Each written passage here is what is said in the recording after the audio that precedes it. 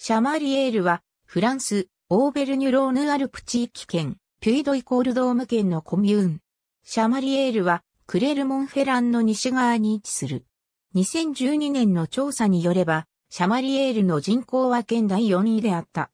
シャマリエールは、一般的に、クレルモンフェランのヌイーシュルセーヌだと言われる。それは、豪華な別荘があり、南石で建てられた建物があり、クレルモンフェランの丘には、都市公園があり、ボルカン・ドーベルニュ地域圏自然公園の一部であるからである。シャマリエールは、クレルモンフェランとカジノを併設するスパの町ロワイアの間に挟まれているが、このカジノはシャマリエールの中にある。コミューンの中をティルテーヌ川が横切る。シャマリエールの名はメルクディウスの神殿、キャドミレスに由来する。その神殿にはコメリー・ジュブネスと呼ばれる少年、キャメルイ・ジュブネスと呼ばれる少女が仕えていた。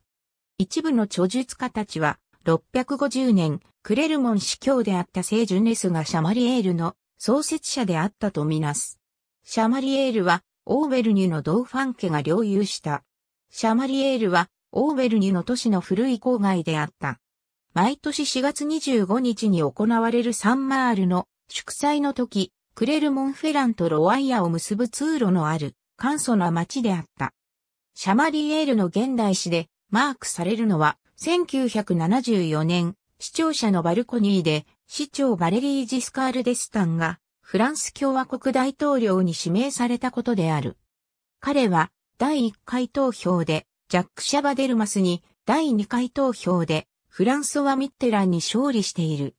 現在の市長ルイジスカール・デスタンはバレリー・ジスカール・デスタンの息子である。ソースイコール1999年まで LDH、イヘス、カジニー、2004年以降 INSEE。